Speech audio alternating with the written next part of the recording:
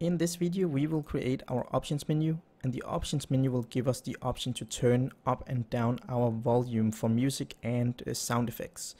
Um, right now we have an in-game menu and inside that we have a button called options and this button here will show the options menu. So basically we can take the in-game menu and duplicate it and rename that one to options and then we can hide our in-game menu again and we can simply make our options menu from this so first of all, we need it to spell options here. If I select it and select the text, we can write options. And we need to rename the text to title because we're going to have some more text here. Then we can take the bottom button here, quit, it outside buttons, and delete the buttons and rename quit to back and open it up and say that the text sheet should spell back. So the title here, well, the title is a text and we need some more text. So duplicate title and rename it to uh, music volume and put it under title. Then we can select it and drag it a little down here. And we need it to spell out music volume like so. And then we need a slider. So if we let's see what do we do? We right click and say UI and slider. And then we can rename this one to um, music volume slider. That's a long name. Let's let's call music slider. And let's see we put it under the text here. And where should we put it? We can drag it a little up and put it yeah just about here I don't know, I think I want to make it as large as the text here. So it takes up the same amount of space.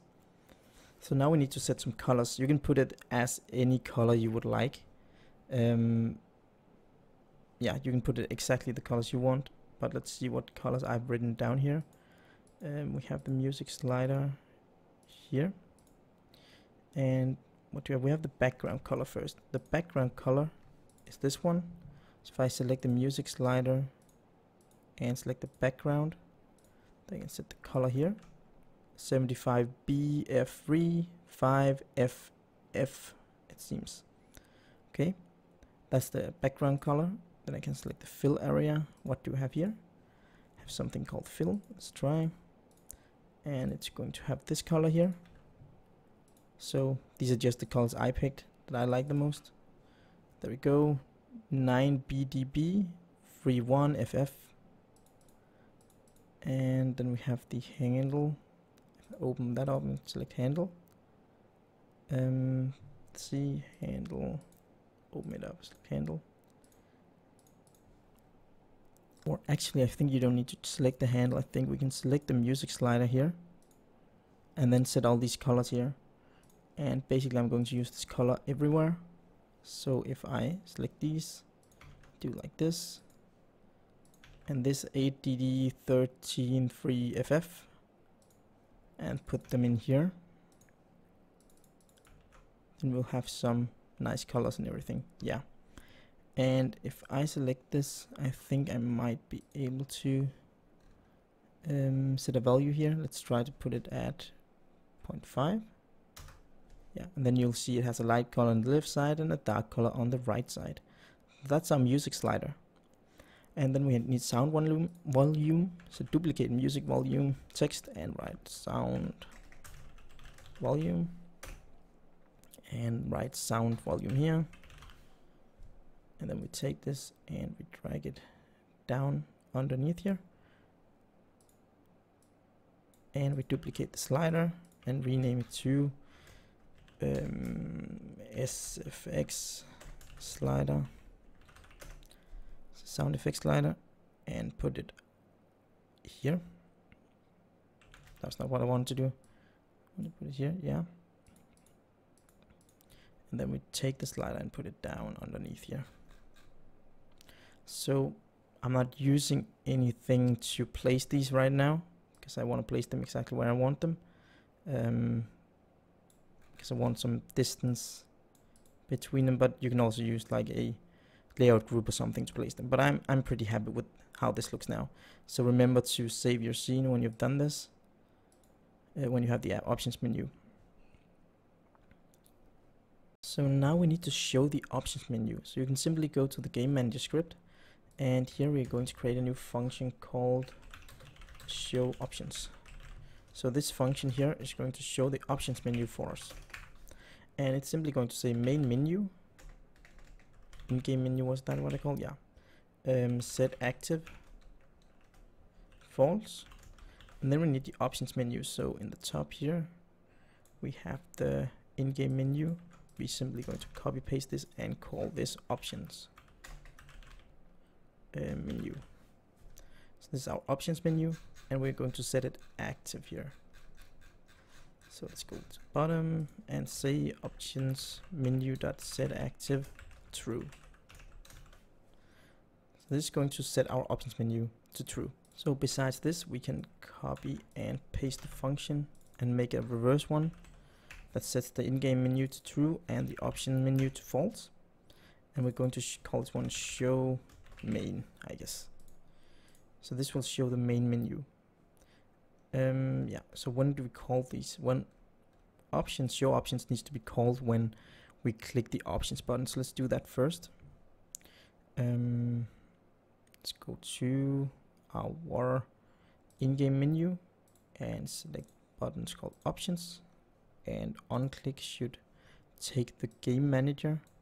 And we should take the game manager's function called uh, show options there. Now we can show the options menu. And what else? The back button here back button needs to execute the reverse function. So it needs to show main. So if we select the back button and say game manager and find one called you can't see this off screen uh, but show main if I could find it. I think I forgot to save in here. So say we have show main here. And try one more time. And have to restart sorry we need to select the options and the back button here and game manager and show main. There we go. Okay. So now this one should get us back. So if I hide the options menu and make sure the game manager has a reference to the options here by selecting the game manager and dragging this onto it then we can try to play. And if I click escape we open up the menu I click options shows the option menu and I click back and it shows this one again so now I can click back and forth between them but when I'm in options and I click uh, escape, I can't go back here. As you can see, I can't, um, nothing happens when I press escape. So we need to do something so that when I click options and I click escape, it goes back to the pause menu here. And then when I click escape again, then it closes down the menu. So to do that, we need to go back into our script, our game manager script. We need to go to show in-game menu and we need to make something. Here. We need to say if our options menu dot active self. So if our options menu is active and we click escape then we need to call show main um, and else. Else we need to say in-game menu set active and time scale and all this. So this means when I click the escape button when options is active we try to hide the options menu so it's the same thing as clicking the back button so if I save now and go back to my game here, play, click, click escape, options, and escape again, then you can see it now goes back to the original game. So you can actually just spam escape to get back into the game. So that was the setup with the menu. I think I'm going to end the video here. Uh, in the next video, we will add the um, the sound and everything so that we can actually use these sliders we have in our options menu for something. Thanks for watching my video. Please remember that InScope Studios is a community founded page, so please consider clicking the support link on the screen to see how you can support me and get something back in return.